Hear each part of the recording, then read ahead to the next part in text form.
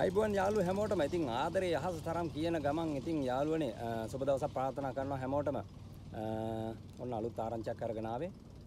හදිසියෙම තමයි මේ වීඩියෝ එක අරගෙන එන්න ඔයාලා වෙනුවෙන්.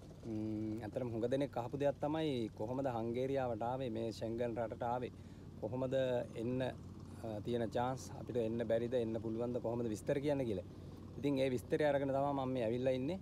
ඇත්තට මම හංගේරියාවට ආවේ කොහොමද කියලා මම ඔයාලට තාම කිව්වේ නැහැ. ඒ විස්තරේ මම අනිවාර්යෙන් ඉක්මනට ගේනවා. මම මේ හදිසියෙන් මේ වීඩියෝ එක අරගෙන ආවේ ඔයාලට ඉක්මන් කරලා chance එකක් තියෙන chance එකෙන් උපරිම ප්‍රයෝජන ගන්න කියන එක. ඉතින් හංගේරියාවේ ඉටලියන් රෙස්ටොරන්ට් එකකට බුඩපෙස්ට් වල තියෙන.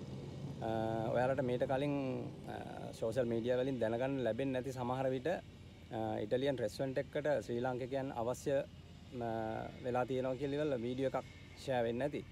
යම් කෙනෙක්ගේ මාර්ගෙන් නමුත් ඒක ඇත්තටම ඒ වීඩියෝ එක බැලුවට පස්සේ රෙස්ටොරන්ට් එකටත් මාර කරදරයක් වෙලා තියෙනවා. ඒ කියන්නේ වැඩිපුරම රුමේනියාවේ ඉඳලා රුමේනියාවේ ඉන්න ශ්‍රී ලාංකිකයෝ මුග දෙනෙක් දවසට 500ක් විතර කෝල් කරන්න ගත්තලු. ඒක ලොකු කරදරයක් වෙලා තියෙනවා.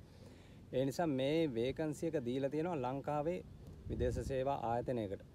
විදේශ රැකියා ආයතනයකට. ඉතින් ඒක තමයි මහර්ගම තියෙන රොයල් මීට් විදේශ රැකියා ආයතනය. ඉතින් බලාගෙන ඉන්න එපා අදම ගිහින් කතා කරන්න රෙජිස්ටර් වෙන්න මොකද අද ජූලි 31 අගෝස්තු දෙවනිදා තමයි ඉන්ටර්විව් තියෙන්නේ. ඉතින් බලාගෙන ඉන්න එපා කොල්ලෝ කෙල්ලෝ හැම දෙක හැම කෙනෙක්ම එන්න ආසයි නම් මේ ෂෙන්ගන් රටට ඔන්න chance එක තියෙනවා යන්න මහරගම රොයල් මීට් විදේශ රැකියා ආයතනයට. අගෝස්තු දෙක තමයි ඉන්ටර්විව් තියෙන්නේ.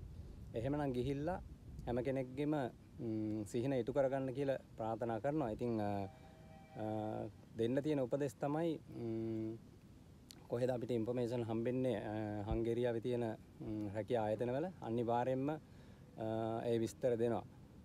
එහෙමනම් ඉතින් හැම කෙනෙක්ගෙම සිහින බලාපොරොත්තු ඉටු වෙන්න කියලා ප්‍රාර්ථනා කරන ගමන් අද ඔබෙන් සමුගන්නවා. එහෙමනම් තවත් අලුත් දවසක හමු වෙනතුරු සුබ දවසක් හැමෝටම. ජයෙන් ජය වේවා.